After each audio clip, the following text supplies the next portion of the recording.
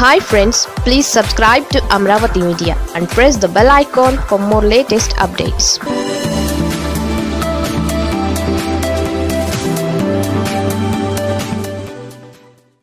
వరుస ఎన్నికల్లో వైసీపీ విజయం వెనుక జగన్ సక్సెస్ సీక్రెట్. రాజకీయ పార్టీలు కానీ నాయకులు కానీ ఎక్కువగా మిత్రుల కోసం తాపత్రయపడడం సహజం. వీలైనంత వరకు వివాదాలు లేకుండా చూసుకోవాలని భావిస్తారు. ఎక్కువగా తమకు మద్దతు ఇచ్చేవారిని పక్కన ఉంచుకుంటే రాజకీయం సులువు అవుతుందని కూడా తలపోస్తాయి. అయితే జగన్ పొలిటికల్ ఫిలాసఫీయే వేరు. ఆయన ట్రెడిషనల్ పాలిటిక్స్ చేయరు. అసలు ఆ స్కూలే అతనిది కాదు. ఆ మాటకొస్తే జగన్ ఏ పొలిటికల్ స్కూల్లో చదువుకోలేదు.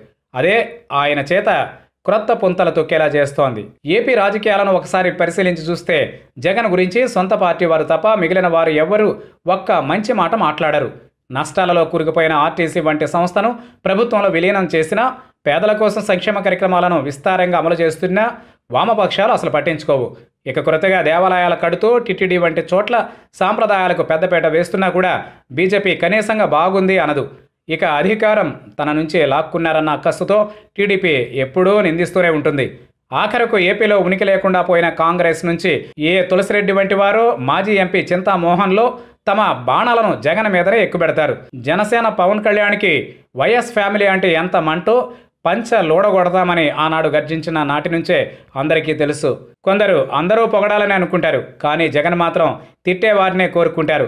తెల్లారుతూనే తనను పది మంది తిడుతూ ఉంటే అదే తనకు పబ్లిసిటీగా మార్చుకోవడంలోనే జగన్ మార్క్ పాలిటిక్స్ ఉందని అంటారు. పది మంది కలిసి ఒకరిని పట్టుకుని నిందిస్తున్నారు అంటే ఆ వ్యక్తి మీద సహజంగానే జనాల్లో సానుభూతి వస్తుంది.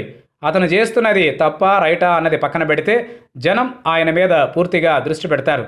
జగన్ రాజకీయాల్లోకి వచ్చిన నాటి నుంచే ఇదే జరుగుతోంది. ఆయన కొండను ఢీకొట్టి పొలిటికల్ ఎంట్రీ ఇచ్చారు. ఇప్పటికీ ఆయన్ని అంతా విమర్శిస్తూనే ఉన్నా ఫుల్ సైలెంట్గా ఉంటారు. తన పని తాను చేసుకుంటూ పోతారు. అదే ఆయన సక్సెస్ సీక్రెట్ అనుకోవాలేమో. ఎన్నికల లెక్కలు కూడా ఇదే చెబుతున్నాయి. జగన్ని పది పార్టీలు తిడుతున్నాయి. దాంతో వ్యతిరేక ఓట్లు అలా ఎప్పుడూ చీలిపోతాయి. ఇక మెచ్చేవారు ఏకమొత్తంగా జగన్కే ఓటు వేస్తారు.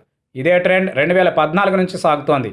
జగన్కి రెండు వేల పంతొమ్మిది ఎన్నికల్లో బంపర్ మెజారిటీ రావడానికి కూడా ఇదే కారణమైంది. మొత్తానికి జగన్కి రాజకీయ శత్రువులే మేలు చేస్తున్నారు అన్న విశ్లేషణ అయితే ఉంది.